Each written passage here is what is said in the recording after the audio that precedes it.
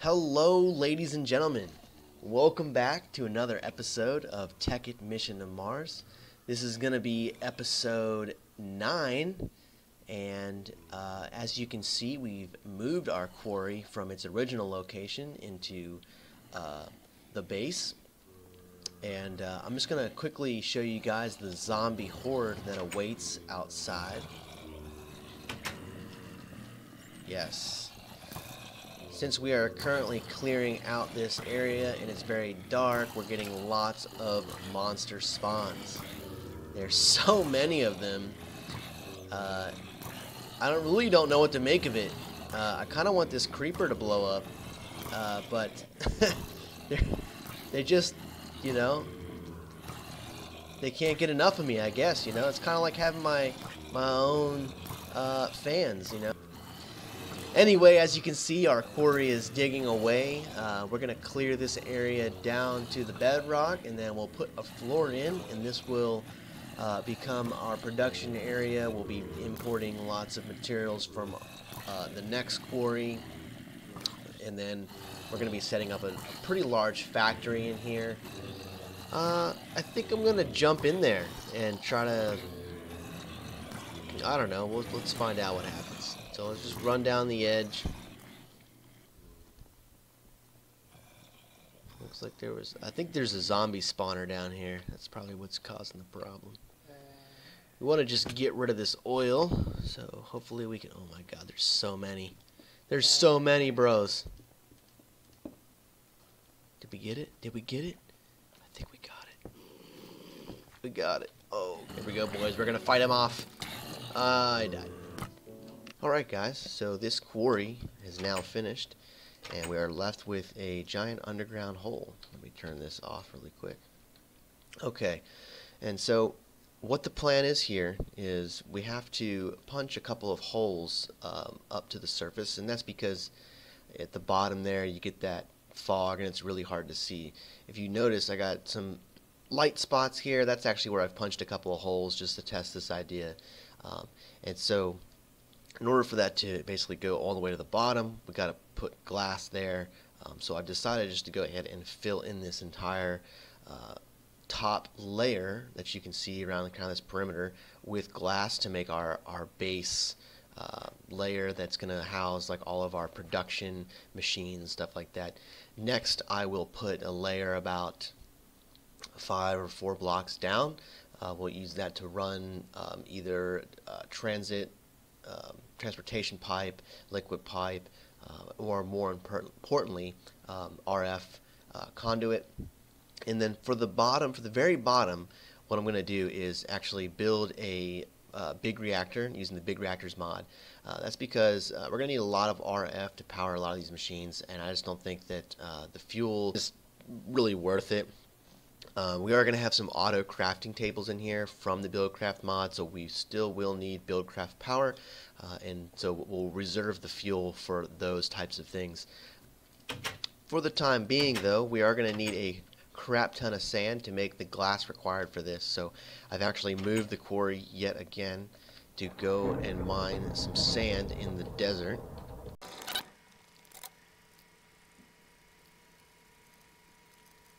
Okay, so this isn't going to be a, a full quarry. It's just um, enough to get some sand here. So uh, once we do hit cobblestone, uh, we're probably just going to stop it and uh, pick it back up and, and uh, repurpose it somewhere else, but I did need a lot of sand, and short of mining it by hand, this quarry was free, so I decided, well, hell, let's just use the quarry. Alright guys, as you can see already, I've added a texture pack. Now the reason why I did this primarily is because I added a lot of glass to the uh, production area and I just really didn't like the vanilla glass texture. Um, so I just changed it up, and you know, with that came like all these new textures. So it's pretty cool. Um, I have definitely used uh, this texture pack before. If you don't know what it is by just looking, it is the Pure BD Craft uh, texture pack by Sphax, uh, and this one is specifically for this version of Tekkit, uh, being Tekkit 1.2.9.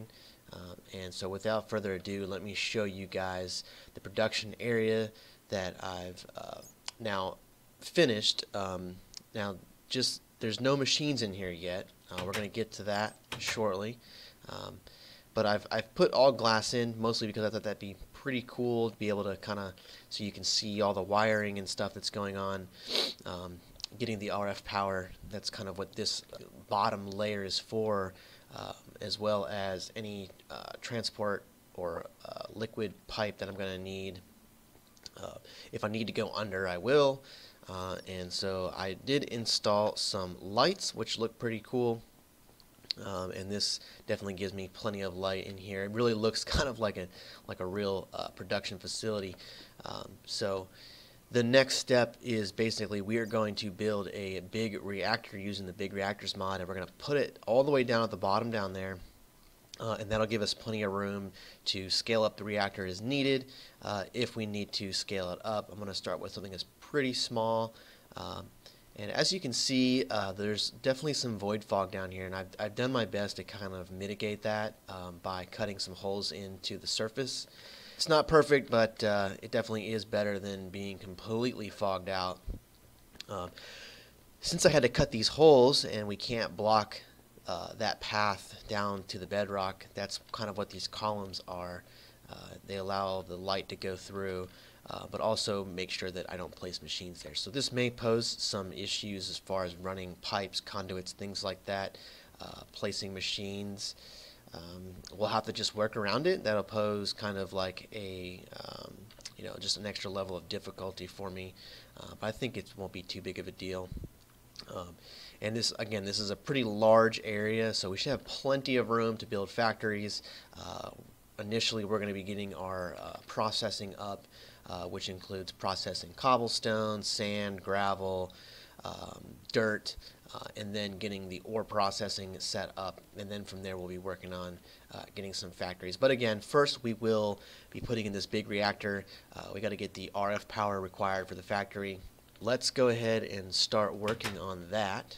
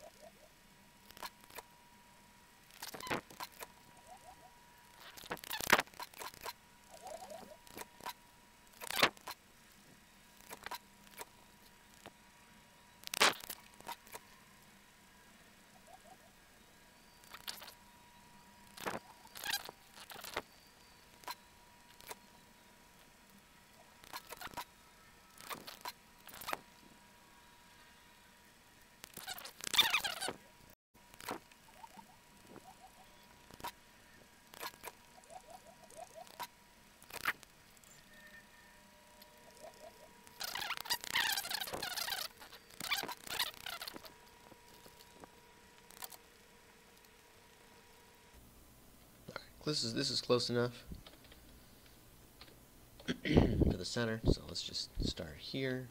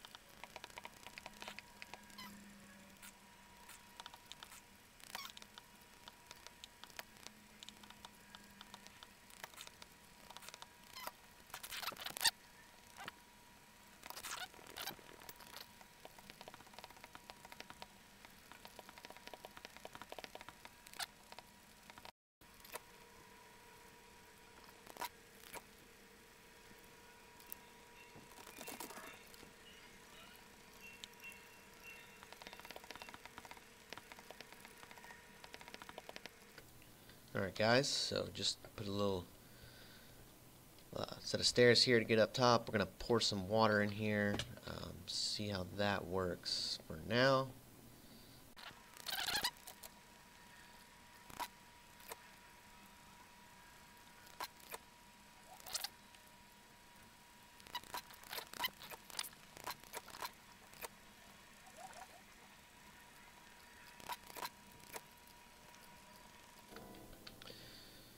Alright guys, so we got some water in the reactor. Um, I think this will work. Um, if I didn't mention already, I've never used this mod before, so I'm kind of just winging it. Uh, but I added some little stairs here. Anyway, uh, let's go ahead and cap this off. Alright, there we go. Perfect. I'm going to go ahead and I'm going to leave this just for now. Um, let's see, let's do that. Looks like it filled it up. Energy buffer, ooh, stores 10 million RF. That's pretty good. Uh, let's fire it up, see what happens. Core heat is high as hell. um, I don't know if this is going to blow up or not. Fuel reactivity.